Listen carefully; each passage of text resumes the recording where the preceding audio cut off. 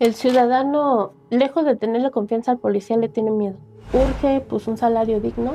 Si hubiera dos o tres cosas que hacer urgentemente para mejorar las condiciones que tienen los policías. Me gustaría que los compañeros que siguen en la línea dando su vida por otras personas, pues sean beneficiados.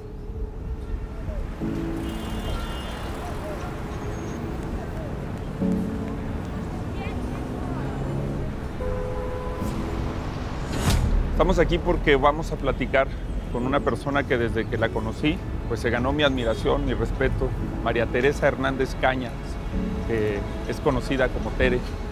Tere es una ex policía, es una mujer eh, que al igual que miles de policías en todo el país se ha jugado la vida en las calles de este país por nosotros, por la gente de México. Y me parece importante que en estas actividades del movimiento Escucha pues podamos platicar con personas que normalmente vemos, pero de las que no conocemos sus historias.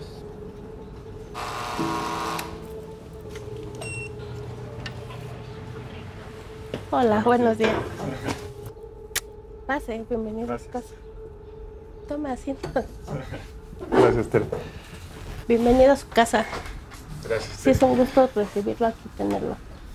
Contrario. ¿Cuántos años estuvo usted en la corporación? 18 años, 18 años de policía.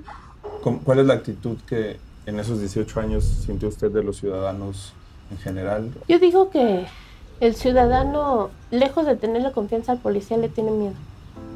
Pero eso es a veces provocado por uno mismo, porque nosotros también siento que vivimos día a día con desconfianza, porque el ciudadano dice, pinche policía, no me ayudó, nada más está haciendo menso, y ya prejuzgó. Y entonces, lejos de haber una confianza, decirle, oficial de esto pasó, y que, y que sea mutuo el apoyo, el policía se queda así como que en desventaja. Queda mal con el, con el ciudadano y queda mal en el trabajo. Entonces yo siento que desde ahí no estamos conectados con ellos, porque en realidad ellos no saben lo que hay detrás de todo, de todo ese proceso. Yo pienso que nos hace falta todavía este, pues mucha unión, ¿no? mucha solidaridad entre policía y ciudadanos. ¿Ve que hay relación entre digamos, los problemas que usted ve en el terreno y las cuestiones que los políticos planteamos o que hay una distancia grande en esas cosas? Honestamente lo veo muy lejano, porque propuestas hay muchas y muy buenas. Y, este, y gente que ha tratado de ayudar o de hacer un cambio en las corporaciones, sí me tocó llegar a ver esas situaciones de que en la tele decían, ah, pues ya se hizo este cambio, ya se hizo. Pero acá abajo con nosotros, como decimos en la tropa y los que llevamos de la tarea el día a día, pues la verdad es que no, hasta nos burlábamos, ¿no? Desde su punto de vista, ¿cuáles son los que sí impactan más para bajar los índices delictivos? La promoción del deporte, la promoción de la cultura, la educación, la familia. Este, Yo creo que sí, yo creo que el primordial sería la unión de la familia. Este, el deporte, pues, qué mejor que inculcarles un beneficio para la salud y para uno propio. Y también enseñarles o inculcarles el tema de inseguridad.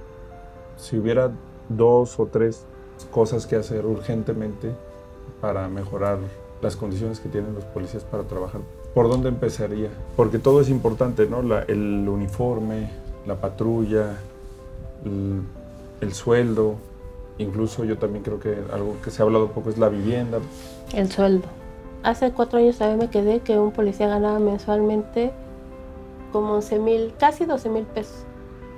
Pero la verdad es que no se sacan los 12 mil pesos libres. El uniforme pues iba por mi cuenta. Que si la, patrulla se descomponía, pues yo tenía que cubrir un punto a pie tierra, pero si no traía mi patrulla. Pues todo te cobran, la verdad. Urge pues un salario digno. Yo creo que el 90% de las mujeres son mamás solteras. Y, y también ha, ha crecido mucho el índice de papás solteros. De papás solteros que salen a trabajar y de que también están al cuidado de sus hijos y pues tienen que trabajar para ellos. Lejos de, de lo malo que pueda haber, yo creo que con buenos pensamientos y con buenas actitudes y sobre todo iniciativas y proyectos, pues se logra. El persistir. Es que lo otro es una es un engaño, ¿no? La idea de que va a cambiar rápido, fácil, con una sola persona. Eso no, en sí- en esa parte sí no creo. Yo me identifico, soy optimista. Creo que la gente que se pone esa mística sí hace un cambio. Me gustaría que, que los compañeros que siguen en la línea dando su vida por otras personas, pues sean beneficiados, porque la verdad es que se requiere atención.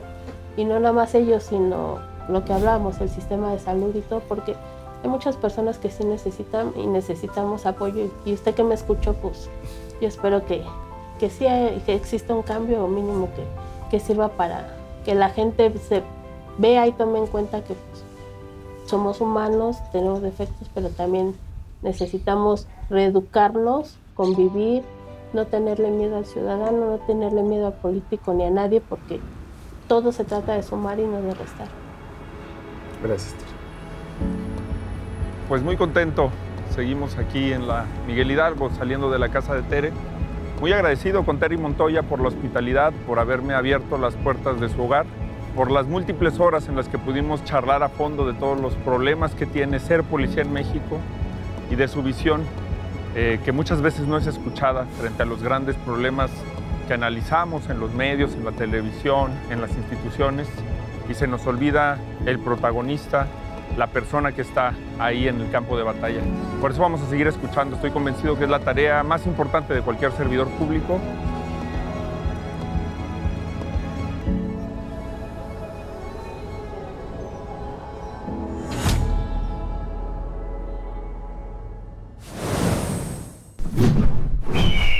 Movimiento Ciudadano.